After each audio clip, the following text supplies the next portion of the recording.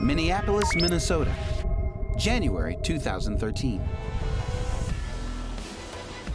Stunned hikers walk behind a strange wall of ice. Any other time of year, they would be getting soaked.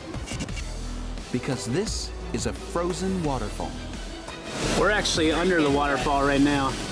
When they emerge, the whole structure comes into view. That's where we were.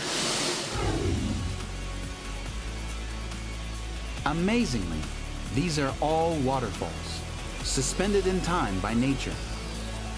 When the weather gets weird, it can freeze anything.